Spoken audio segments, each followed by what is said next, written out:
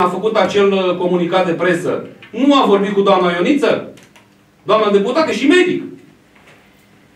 Ei nu se consultă bă, la nivelul partidului. Domnul Boboc a asumat bă, prefect PNL. Băi, nu discută între ei. Și doamna Ioniță, în acel comunicat, a spus că nu este bine ca acest fenomen mondial să fie inclus în dezbaterea politică și să ne gândim la măsuri concrete astfel încât să liniștim populația și să avem măsuri concrete. Și nu, este, nu se pare corect ceea ce eu sunt de acord. Iar domnul Dănăilă vine a doua zi, comunicat de presă, unde PSD-ul este coronavirus.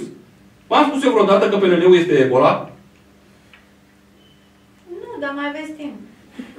N-am să spun. Am spus eu vreodată că PNL-ul este bă, gripa porcină, africană, că a ridicat-o domnul Boboc. Poate i-a ridicat pe toți și a rămas el singur în PNL. Că am înțeles că toate focarele stinse. Bă, sunt morți și nu bă, știu eu? Să nu, mai, să nu mai antreneze luptele lor grupale până la urmă, că sunt grupuri de interes acolo, nici nu mă interesează, e treaba lor. Cum să-și cântează pe la spate.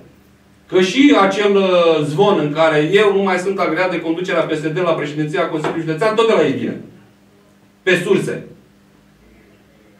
Domnule, eu o să candidez pentru Brăileni, o să candidez pentru proiectele pe care le-am început, proiectele viitoare, o să spun ce am făcut acum și o să o spun în continuare că am lucru în care să mă mândresc în acest mandat, cu toate nebunile din spate și cu toate problemele care au fost, și avem proiecte de viitor pentru brăileni astfel încât să îmbunătățim viața brăilenilor și să aducem uh, nivelul de trai mai ridicat în uh, județul și municipiul Brăila.